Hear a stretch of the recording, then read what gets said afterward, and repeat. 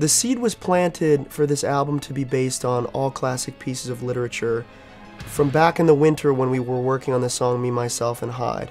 Around the same time that we were doing Me, Myself, and Hyde, we thought that along with the story, it'd be great to incorporate music from that time period. And the symphony was a, was a perfect example to do that with. It kind of brought this whole environment to our music that we never had before to continue to do that type of orchestration in the music. It, there was no question about it.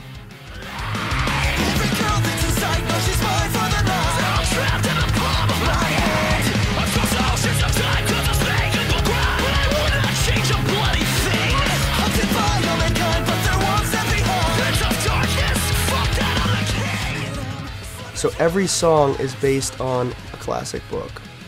With this album, it was interesting because we already knew going into it what the songs were going to be about.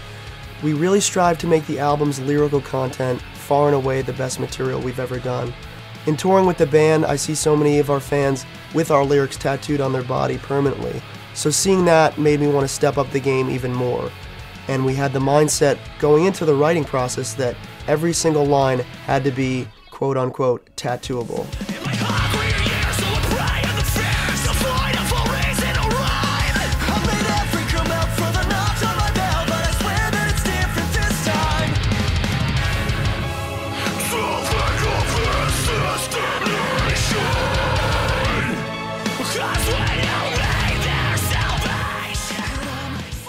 Well, the writing process for us is different with each record. This record specifically, I think we work together as a group more so than any other record. I think we finally kind of hit our stride as how we work best together. We each have our strong suits. This one was really interesting because before we even started putting the music down, we had a concept and it was these stories. And, and so each song in the writing process was driven by the actual story.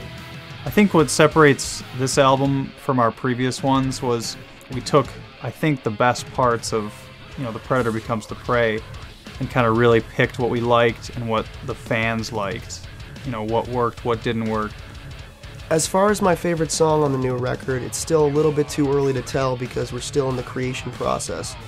But if i had to pick one that stands out to me now i would have to say the one based on dracula which is called bloodbath and beyond again. They'll never take me alive because I'm already dead. And so last year was very busy for us, probably seven months on the road. This year, a little bit less. I think we really thrived with that pressure, and I think we came together as a unit. And I think overall, we have our most well-rounded record to date. We tried to take into account everything that the Ink fans like about us in the past, and took it up a notch in every respect.